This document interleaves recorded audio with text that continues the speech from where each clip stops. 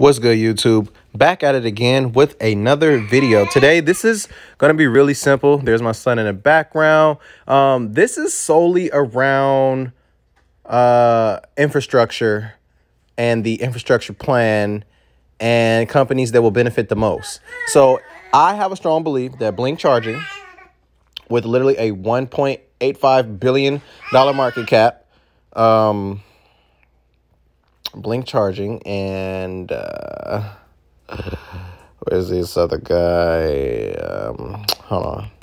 We got Blink Charging, and then we also have ChargePoint.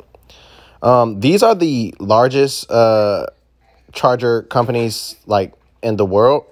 So, um, what I do know is that there's about 178 billion dollars that will be um, put into the electric vehicle market.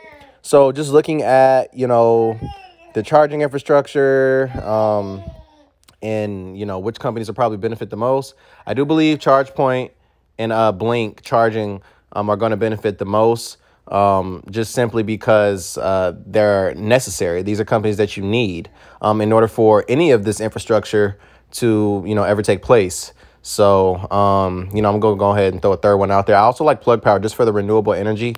Um, for those who don't know exactly what Plug Power is, I'm going to come down here. Plug Power Incorporation provides alternative energy technology which focus on the design, development, commercialization, and manufacture of hydrogen and fuel cell systems used primarily for material handling and stationary power markets.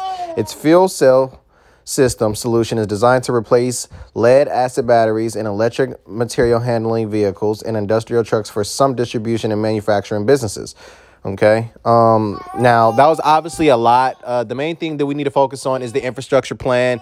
And within this infrastructure plan, uh, President Joe Biden of the United States of America um, pretty much came out and said that uh, the U.S um, government fleet as well as school buses uh, will will be replaced with um, either hydrogen vehicles or electric vehicles. So um, there's your update for today. Plug power, okay. Blink charging, and our guy. My son's trying to tell you guys to invest into ChargePoint and Blink charging, but we aren't CPAs or financial advisors, so. Until next time, y'all know what it is. I'm out.